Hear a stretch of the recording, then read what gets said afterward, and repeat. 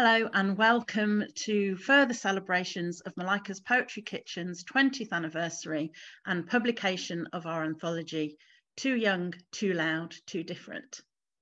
I'm Jill Abram and I've been director of the collective since 2010, which is a year after I joined, which means that I wasn't actually there at the beginning back in 2001.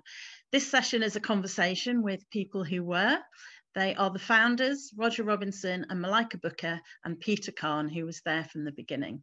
You can read their bios elsewhere on our website, so I'll just give you the recent highlights. Roger Robinson's latest collection, A Portable Paradise, published by Peepal Tree, won the T.S. Eliot Award for 2019. Malika Booker's latest book, also published by Peepal Tree, Pepper Seed, uh, is here and we are very excited that she's got a new one coming out. We don't know when yet, but we're very excited and looking forward to it. And two of the poems in that book were shortlisted for the Forward Prize for single poem, and one of them, Little Miracles, won in 2020. Peter Kahn arrived on these shores from America 20 years ago not convinced yet that he was a poet, but after spending every Friday night around the Malika's Poetry kitchen table, he realised that he was. And while he was here, he set up the London Teenage Poetry Slam. And when he went back to Chicago, he organised a twinning with Chicago and London young poets. He returned to London several years later and set up the Spoken Word Educator Masters Programme at Goldsmiths University. And graduates of that programme have gone on to use spoken word in education in the UK. His long awaited first collection, Little Kings, was published last year by Nine Arches. It says advanced reading copy, but the real version is out in the UK now. I'm now going to disappear and leave these three OGs to talk to you. Peter. I'm very honored to be here with two of my best friends in the world, two of my mentors, and the co-founders of Malika's Poetry Kitchen. Um, so we're going to have a discussion about the early days and the impact of this creation of yours. And I was not there from the very beginning. I was there a week or two after the very beginning. And I remember August of 2001 being invited to Malika's apartment flat in Brixton and showing up at precisely 8, 8, 8 p.m. And I think it was your cousin came to the door, let me in, and you were hurrying because you were going to be taking out Ruth Foreman from California to do something. So I was the first one there and you said, Hey, can you get the door for me? I'm going to be heading out, and my friend Roger is going to be leading the session. And I said, Sure. And I waited around in Malika's bedroom for at least 15, 20 minutes before the doorbell rang. And I went down. And I think Denreli Ogunwa was the first person to show up. And I remember Janet Plummer and Patricia Foster and several others who I can't remember anymore, but definitely those three and then Roger comes bounding into the room and he basically said, let's get started. And that was the second ever Malika's Kitchen meeting. Soon thereafter, we had a launch at the Bug Bar in Brixton that I want you guys to talk about because I had no idea who was in the audience, but it was all these luminaries who were there because Malika and Roger have such uh, goodwill in the community. Um, so I'm going to be asking some questions and talking about this. Just so you know, I was at Agochi's house uh, a couple of days ago, and we were reminiscing about when she first met you guys over in London and, and all the community that's been built over the years. And the reverberations of what you guys started is, is just remarkable. So I'm so proud to have been there early on. So when we think about the origin story, I know that it was the two of you and Bumi were the first meeting but can you guys get into the idea of why you created this, what was going on in the poetry community in England that motivated you to do this, and then that that first meeting. So let's start with Ms. Booker.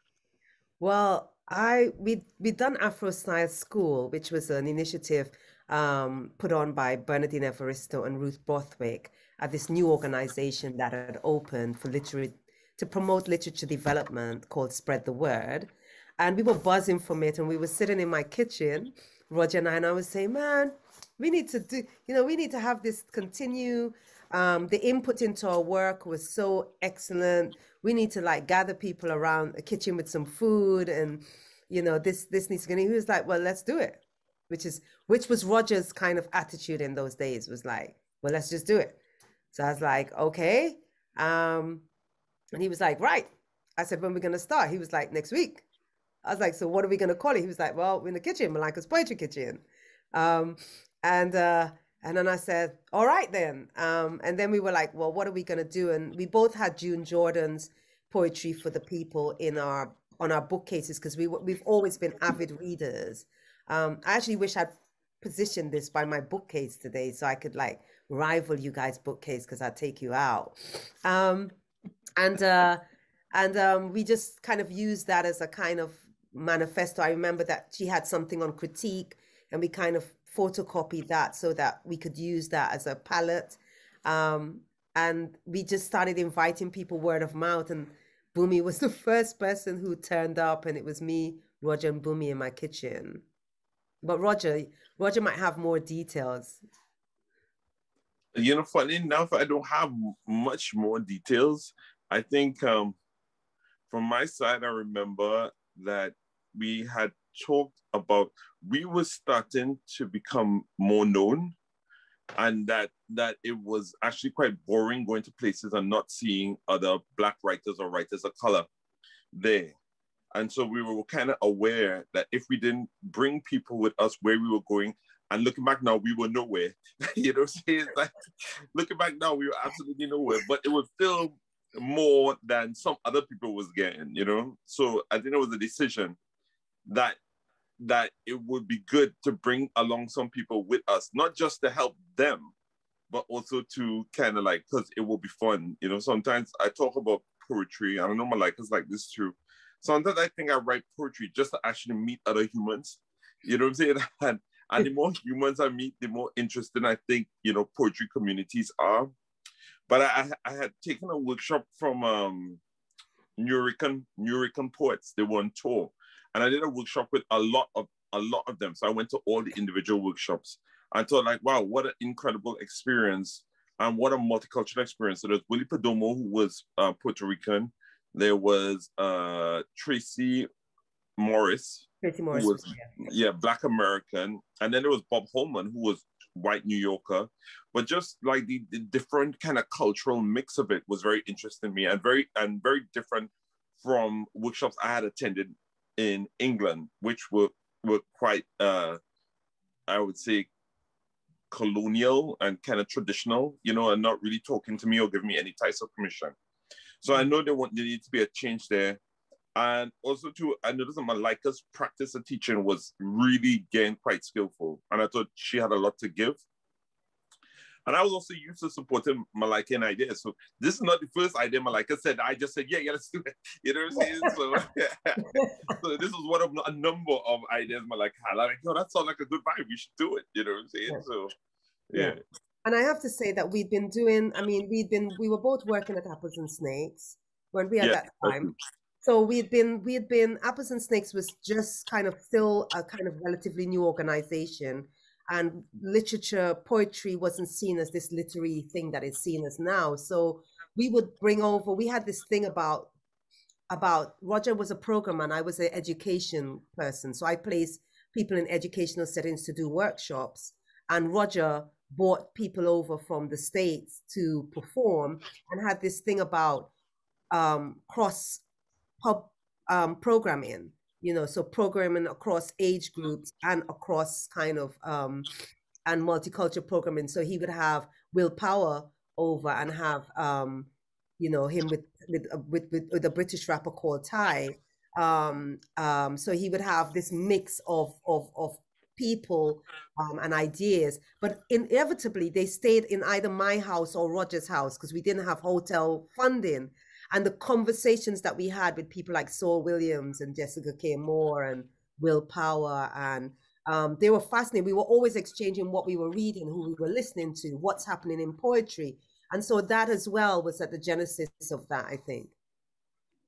Yeah, I think it, it, it, you know, looking back now, it all sounds super romantic, and it was romantic, but we it, it didn't feel romantic at the time. It just felt like the right next thing to do. You know what I'm saying? And Malika's Kitchen kind of grew out to the right next thing to do. From very early on, there was a discussion about that nobody's going to be paid that it's a voluntary thing and if you don't get with the ethos of it then don't worry don't don't bother with it i mean i know they have subs and stuff they pay now but it's not big money and it, it would definitely had an access element to it in terms of um uh the the uh, decent workshop cost a lot of money it was in the hundreds and hundreds of pounds yeah. and a lot of we, we were finding a lot of writers as a program at apples and snakes who were of color but they just needed a little not much to actually come into the realm of something good.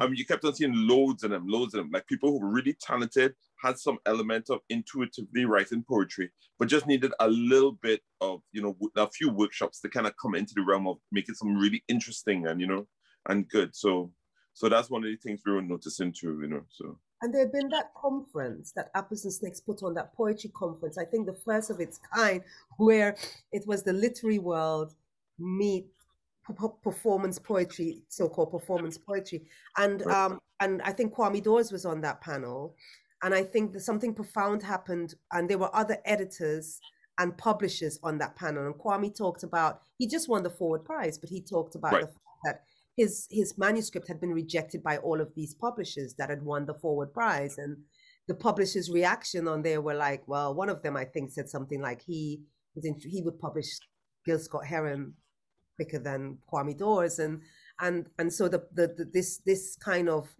I think this this disillusioned us as well. We felt like we needed to do for ourselves in order to develop. Right. Yeah. They definitely felt like you know there's only so far you can go. Yeah. And the, and and the people and then black writers in general, not even spoken with black writers in general were invisible to the major presses. And to to be honest, like a lot of the time I've been a writer, that's been the case. You know, is and there was, and, said, they said, right? They said there's no black writers, even though it yeah. was a room full of poets and writers. Right, right, right. So that was really, that was really interesting. And it was just kind of like, yo. And we had this thing. I mean, Roger had this kind of mentality.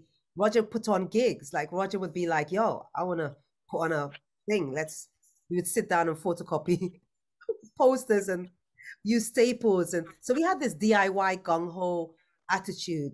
Yeah, it was very DIY back in the day. Yeah. But we also had a sense that we were trying to get over things to the people that we were in service. So yes. it really wasn't, you know, it, you really, you know, like I, I could definitely speak for Malika and um and and and even Peter too. Like Peter helped us to structure a lot of the early. As soon as Peter got involved, it wouldn't be going now without Peter's structure and Jill's stewardship. You know, it's like because I ain't trying to diss Malika or me, but we wasn't really good at that. we was good at the ideas, you know what I'm saying? And we was good at what we wanted to do, you know? So um so yeah, it is definitely I'm super proud of Malika's Kitchen for the service. We were very aware of we wanted to be in service, you know, and, and, and, and writing to be in service. And Malika's Kitchen come out of a kind of natural bent for us to be in service. Both of us coming from West Indian Islands where the writers and intellectuals work for the people. You know what I'm saying? It wasn't really about about you know like or how is how good a writer is in terms of how good they're serving communities, you know, and like whatever communities and stuff it would be. And and I think that's something I still feel today, you know, now, you know, it's like it's no different. And I think we gravitated towards other people who serve communities, like people like Malika Booker, not like like like Bernardine, like like Bernardine, you know, and Kwame Dawes, and you know, we created a kind of legacy of Black writing. When I say created, we helped support a legacy of Black writing. And I don't think that legacy of Black writing would be there if it wasn't for Benin, if it wasn't for Afro Style School, if it wasn't for Malika, if it wasn't for the kind of help we got from Peter, one a lot of people contributed to this path, and then it went to complete works. Now it's moving towards um, Obsidian Foundation. So there's a long line of support for Black writers and which Black writers are coming out from and, and winning prizes, quite frankly. You know what I'm saying? So so it's really interesting that the um a lot of the the editors from 20 years ago. I'm like, I'm talking to these editors now. I'm like, you can't even remember who I am, do you? You, you don't remember, you know? So, so it's quite because I remember them clearly, you know. Yeah, huh? yeah we do, we do. yeah, yeah. So Roger, you, you just jumped ahead to one of the other questions I was going to ask. Sorry, so, sorry. so let's no, it's good. Let let's talk about what's been what do you see as the influence, and you've spoken to this a bit, but let's get more specific, the influence that Malika's Kitchen has had on the terrain of writing in the UK. Um, and maybe mention a couple of writers who've come through the kitchen who you're you feel like are, are trailblazers at this point. Yeah, I think you know there's a very popular term talking about decolonization of literature and liter- literature syllabus in England. And um, I think Malika's Kitchen was on that all the time because we really tried to choose diverse sources and not use just the traditional canon because we felt like the canon as it stood was kind of duplicitous in terms of it was writing that lasted its time, but it was also writing that really, really commemorated uh, dead white males and those dead white those dead white males had the access to be commemorated, and a lot of work was lost within that commemoration and the canon. And so we wanted to diversify what could be not considered for the canon, but work that we thought that was just as good that came from um, diverse communities, you know. Uh, and so international, international communities, international, yeah, international communities too, you know, because we, you know, um, especially for black writers and writers of color, and I would even say for Jewish writers, you know, they existed in a whole different world of and a whole different world of circumstances. And and you know, we learn a lot from people like Yehuda Amichai. We learn a lot from um from um, Irish writers like Seamus Heaney. Seamus Heaney, um, you know, it's just like yeah, any you know, like a lot of these things, and even though some of these people were were were had a a good reputation, we really were looking at a lot of people who were in communities from around the world and how they served their community, no matter who they were, you know.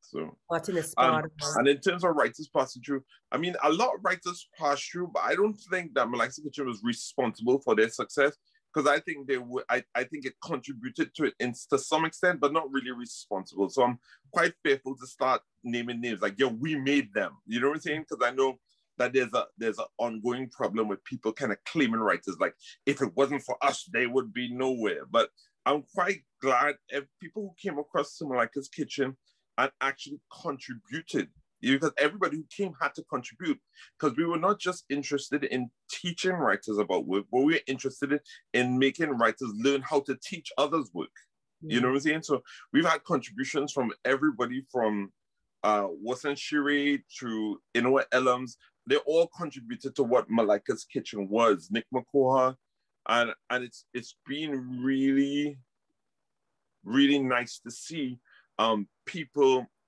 holding Malika's Kitchen in good regard. Mm. You know what I'm saying? After contributing to Malika's Kitchen, and I think I think Malika's Kitchen, I think Obsidian now Nick Makoha's Obsidian Foundation will kind of carry that on the work that Malika's Kitchen does, even though Malika's Kitchen isn't done, but Obsidian Foundation will also carry it on in that continuous stream. I, I think um, it was Derek Walcott who was saying is hmm. that that you know poets only exist for the kindness of other poets. I'm only here for the kindness of um, Kwame Dawes, um, even the kindness of Malika, even the kindness of uh, uh, Bernardine, even the kindness of other poets, you know, like Italian poets who came and said, like, yo, you really should keep on. When I was like, when I was like 25, you're like, you really should keep on. I'm really reading a festival, and they say, like, no, you were the best thing here. Trust me, you know. And it's the kindness and the encouragement of other writers, and not to feel so invisible, you know, and to kind of continue on. Hmm. Sorry, I'm rambling. And I think um I think there was a fundamental thing. We we just invited people, you know. Mm.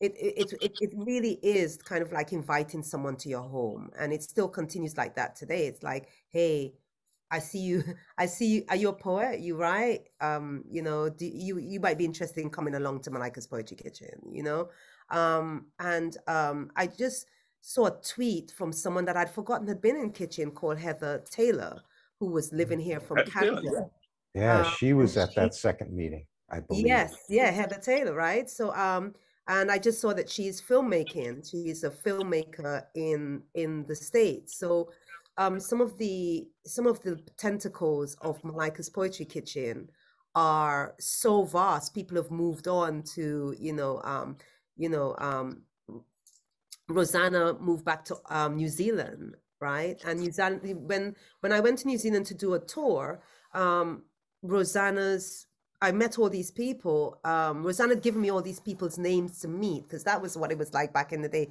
Like meet my peeps, and I couldn't meet them. And then I was at this event sitting next to this woman, and she was like, "Are you Malika Booker?" I'm like, "Yeah." And she's like, "Oh, I'm Rosanna's friend." And Rosanna went back to New Zealand. Speaking of kitchen, not of the the craft element of it, but she spoke of the fact that she felt really isolated as a New Zealander here, and this I taught in her um, I did workshops in our kids' school for the South Bank Center and said to her, Hey, you're right. Come along to this thing. And she said it was like a home. It was like a space where she could be herself and write. So, also within the kitchen, there were these kind of diverse communities who would never meet, writing and talking with each other. And the whole thing is the poetry and craft. And and I wouldn't take from, you know, there were, there were writers like Aoife Mannix was a member of Malika's Poetry Kitchen. Um, and I wouldn't take from the element of, of, of that, that, that, um, that door closed to the working class writers as well. That was true. That was that too. Working class writers was a part of it. And women writers. And single moms. And single and moms. Single moms. You yeah, know, so there was so much, you know, people who were grappling with being single moms and, and, and this kitchen provided a space for for for that or or or Rajesh who, who was over from Australia who this provided a space for so it's not only the writing but it, it provided sometimes a home for people to meet like-minded people and and people made built long-time friendships or at the moment people are you know people are the Malika's Poetry Kitchen continues because people have been kind enough to go, I was a member, I am a member, I am in this book. The popularity of the collection as well, this this collection coming out, is because of these people really um, heralding the kitchen. You know, um, you have people like Dele who's gone on to do um, Africa. Um, what's the Africa? Is it Africa Writes? Africa the, yeah, the, I think so the big African festival who is really in, in in in that space. So people have not only continued in the writing. I think Malika Kitchen Poetry Kitchen is held for the writing, but people have gone out into all spaces in the arts, and some people have gone to, to just do nine to five jobs, but have still held that impact of of generosity, of community, and of sharing. if we think, and, and you know, Roger, I think you're being humble. You know, as I talk to former members or current members of Malika's Kitchen, they certainly point to being a member as contributing strongly to where they are now. And, you know, I'll speak personally and I'll ask you guys about the impact of it. But certainly when I went back to Chicago in 2003 and was able to create this position at Oak Park, it was all, everything I've done since then has been grounded on what the two of you have taught me about writing, about community, about organizing, about being good human beings, about giving. Um, when I think about, you know, projects I'm proud of, the Golden Shovel Anthology wouldn't exist without the two of you. Like I, you, I never would have thought to do it, right? And you know, I think back to these moments early on. I think back, I think back to reading this before it was an actual book in Trinidad. And the first yeah. book of poetry I read cover to cover and, and realized, wow, I actually can like poetry. Right, um, right, right, right, You know, so there are all these moments that contributed, and I never would have, you know, wanted to even do this if not for right, the two right. of you in Malika's kitchen. Well, that's um, a nice thing to see. And you know, again, speaking with Ogochi, same thing. And and the two of your names and more broadly, Malika's kitchen comes up. Uh, how does how do you feel like creating that and being such an integral part of it over the years has influenced you all um, as you know here we are middle aged we're no longer yeah, young how, how do you think it, it's imp- impacted you I am the elder by, by, a couple of months. Um, so yeah, how does how has it impacted you as as people? Well, you know, like I've had what I some people perceive that I've had success recently since T.S. Eliot and the Ondaatje Prize. But I've actually had a lot of success depending on what you call success. You know, it's like because getting together, reading, finding out about poems and emotions, getting to go on readings, like getting to travel across the world, meet people from different countries and stuff. Because people, somebody asked me, like, how do you practice for 25 years and win nothing? I said, because the experience that I had has made me feel happier as a human. Mm-hmm. That when I'm communicating with people, I'm like, yo, this is worthy and I should continue doing this. Like mm-hmm. when I can invite my friend Peter to Trinidad and he can read my book and say, yo, I love this. You know what I'm saying? Like, and then we go to the beach and go to sea and the waves. And then I can come to Chicago. All these experiences are poetry to me. It's not just the poetry that's in the book, you know? And so the encouragement has been interpersonal where, where you, somebody has impacted my life or or I read a poem again and again and again. I keep on telling people that yo, you need to read this poem, and I can share it with someone else. And so that is to some extent is a success. And now with the kind of more, you know, like the kind of symbolism of a prize, it just allows me to do the same thing but on a bigger level. you know what I'm saying? So so the thing thing about the prize is that allows me to do exactly what I've been doing on a bigger level, you know? I think it's part of our practice. Yeah. I think it's our practice is is is like that. You know, there's nobody I would meet, and I mean, sometimes I'd say to people, I can't mentor you, but I also always seem to have there's someone, there's always some one, two, three people that I'm mentoring, that I'm having conversations with, um, that I'm in, informally mentoring, that they will show me work, and I will have a tea with them, and we'll talk about that work. Mm-hmm. Um, or there's the fact that um, you know i i see people develop and and you know so i remember going to see a showcase. Jacob Sam-La Rose was working in a school and i remember going to a showcase to see the some of the poets coming out of there. Um, and warsan was one of those poets. Um, and then i remember um, i think you programming her roger at um, at at at apples and snakes. Um, and i remember like when my book launch came out two of my favorite poets that I was invited to read with me were Kayo Chingonyi and Warsan Shire. So, um, and that, um, I think it's the, it's, it's, it's, a, it's the reciprocal, um, benefits or, or, or, or, um, transactional. It's, that sounds so commercial, but I mean, the transaction is in terms of give and take, in terms of openness, in terms of you know, I, I pe- people would see say, uh, you know, there are people I went. I mean, I mean, Yomi Shore. I remember I met Yomi and I said to Yomi, I really like your writing. Do you have a mentor? Do you have someone you're working with? Do you have someone you feed off? And I kept asking this question. One day he sat in South He's like, I'm looking for a mentor. I was like, I've been trying to tell you, like, I'm, you know, I've been trying to tell you that that's what we've been doing. I've been reading your poems and giving you feedback. And he's like, ah, yeah, okay yeah, but don't you pay for that? And I was like, no, not we we we we're writing in the same space at the poetry library and in, in the South Bank. So let's just change work as we're writing or seeing in we're writing in the poetry library and then afterwards being going to the side and having a chat. I think the I didn't realize until I moved to Leeds how much the the interactions outside of gigs fueled me the conversations, the encouragement, as Roger says, the fact that you would finish a gig and then all you would all gather and be like, yo, let's go Wagamama. You know, Wagamama should have kind of given us some mm. kind of sponsorship. Man. We dumplings at least. we we had over like 15 years of going Wagamama. Like it's been more, like more more than that. More than that, isn't it? We started in the one, the first Wagamama in Tottenham Court uh, Road. Tottenham Court Road when it was yeah. only one. We'd be like, yo, Let's go Wagamama. We've been Wagamama till they threw us out, talking poetry, exchanging poetry books.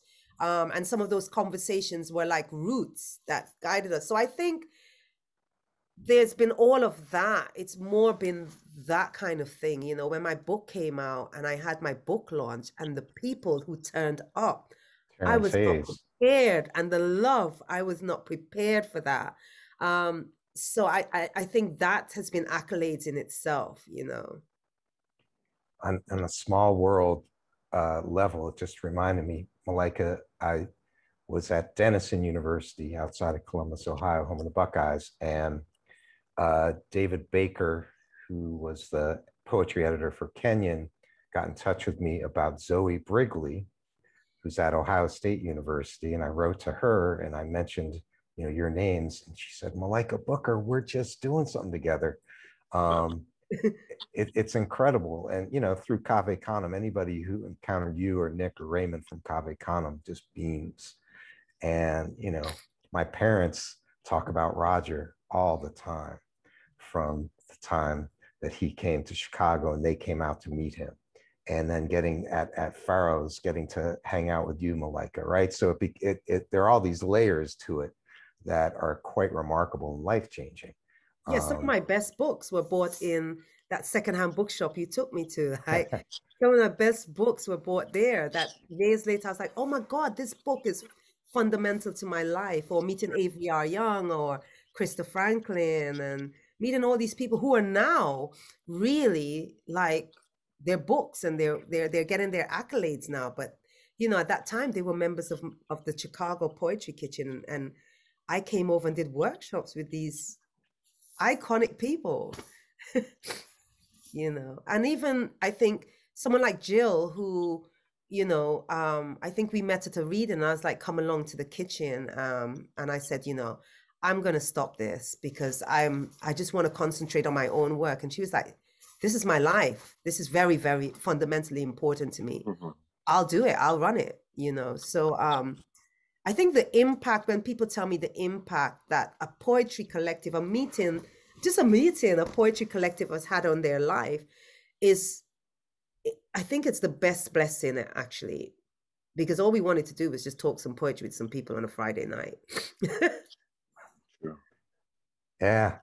Well we're coming to a close here. You know this anthology is going to be groundbreaking and you know i hope you the two of you and jacob and nick and others look at it as a, as a gift um, that celebrates what you've created and the reverberations that it's had and will continue to have thanks to Jill and others.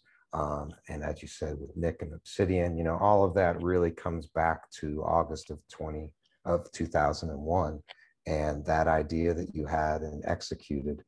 And I hope you're you're both really proud of it and proud of yourselves and all that you've done for all of us. Um, I know I'm proud to call you my friends and mentors.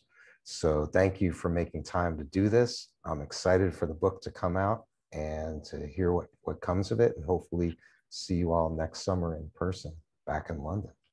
Thanks, Peter, man. Thanks for all your help, man. You set up the structure. That was important, man. Because we wasn't structured people. We wasn't structured people. that structure was important, my friend. and and, and I I think it wouldn't. I think it's beholden for me to say that it wouldn't. We wouldn't exist without June Jordan, without the Harlem Renaissance, without the Caribbean Writers Alliance. Because I mean, one of the things that we talked about was that these people were marginalized and were outside of spaces, and they only were able to build together, right? So we, so these people have been our blueprint, you know, um, yeah. as well, you know. So John La Rose, George Padmore Institute, Merle Collins, you yeah. know yeah. You know, well, Merle Collins, I wouldn't really be doing that much poetry. I was a Merle, uh, a Merle Collins fanboy. I used to go and see her read. Remember, everywhere. we used to go. Yeah. yeah. So I think I think um, I'd like to acknowledge them as well as the people who came through Kitchen and also the people who came to teach at Kitchen. Um, Fred D'Aguiar. Yeah, you know, um, you know, so so many people, so many writers have come to teach at Kitchen.